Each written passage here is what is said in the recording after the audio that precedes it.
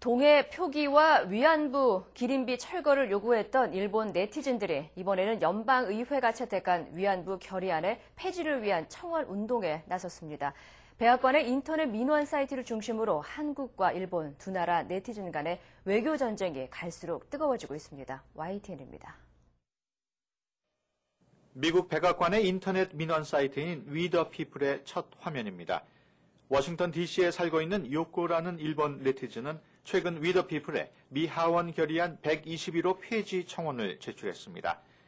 지난 2007년 7월 미 하원이 만장일치로 채택한 위안부 강제동원과 관련한 결의안을 폐지해야 한다는 것입니다.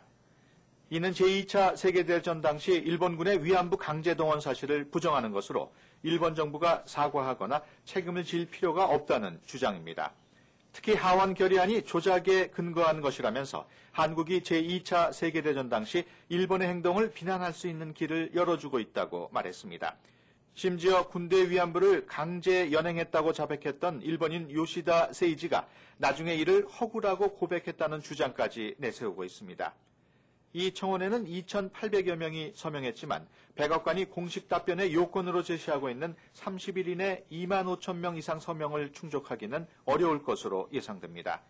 앞서 재미 일본인들은 최근 뉴저지주에 건립된 제2군대 위안부 기념비의 철거를 요구하는 청원도 제출했으며 재미 한국 교포들이 이에 대항하는 서명 운동을 펼치는 등 갈등이 심화되고 있습니다. 백악관 사이트에는 한일 간의 논란이 되고 있는 청원만 5건이 올라와 있고 서명자도 16만 명을 넘어서는 등 한일 네티즌 간의 외교 전쟁이 한창입니다.